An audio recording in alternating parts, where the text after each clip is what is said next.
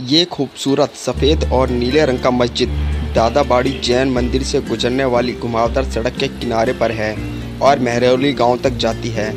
हालाँकि अक्सर बड़ी संख्या में ये स्थानीय बंदरों का घर है, लेकिन यह शांत जगह भी है और इस जगह के बारे में ज़्यादा जानकारी नहीं है, सिवाय इसके कि यह लोधी युग के अंत से आती है। जैसा कि इसकी वास्तुकला से पता चलता है और बाद में आए मुगलों से अलग भी बताया जाता है।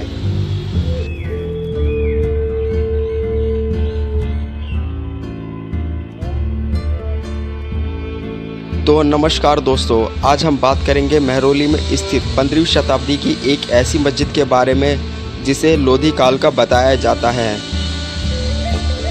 और यह मस्जिद है मड़ी मस्जिद, और यह एक शानदार स्मारक है, जो एक ऐसे स्थान पर है जिसे ढूंढना आसान नहीं है। और यही कारण है कि यह सुनकर आश्चर्य होता है कि बहुत कम लोग इसके बारे में जानते हैं। शायद ऐसा इसलिए है क्योंकि ज़्यादातर लोग इस जगह से गुजरते तो हैं पर उन्हें पता नहीं चल पाता कि यहाँ पर कोई मस्जिद भी है, क्योंकि यहाँ पर कोई नोटिस बोर्ड नहीं है जिस वजह से इस स्मारक का या फिर इस मस्जिद का नाम या डिटेल दी गई हो। और यह माना जाता है कि यह संरचना पंद्रहवीं शताब्दी की है, जो इसे लोधी युग में रखती है। शायद अधिकारी भी इस स्मारक के बारे में सटीक जानकारी या इतिहास के बारे में सुनिश्चित नहीं है, और इसलिए इसके बारे में कोई स्पष्ट दस्तावेज़ भी नहीं है। यह महरौली पुरातत्व पार्क में ठीक बगल में है, लेकिन पार्क की सीमा के भीतर नहीं आता है।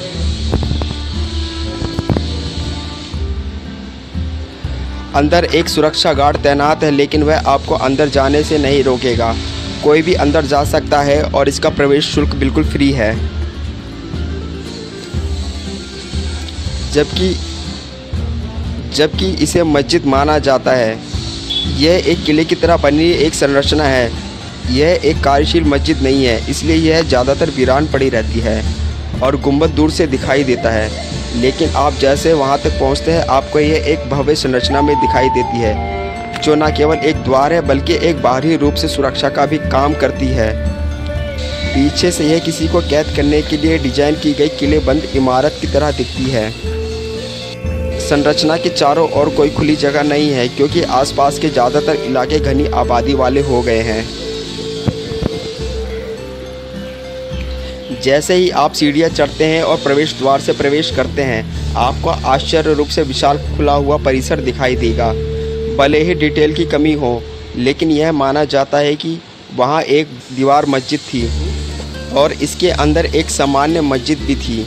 इसे एक समय में जटिल रूप से सजाया गया था, जैसा कि दीवारों और गुंबद पर अब घिसी हुई है, लेकिन अभी भी दिखाई देने वाली नीली रंग की टाइलों से पता चलता है। ऐसी सीढ़ियाँ हैं जो अंतरिक कक्षों तक जाती हैं, लेकिन वे आजकल व्यवहारिक रूप से बंद है। यदि आप ध्यान से देखें तो आपको पूरे परिसरों में दीवारों और स्तंभों को सुशोभित करने वाली इंडो सैनिक मूर्तियाँ भी मिलेंगी।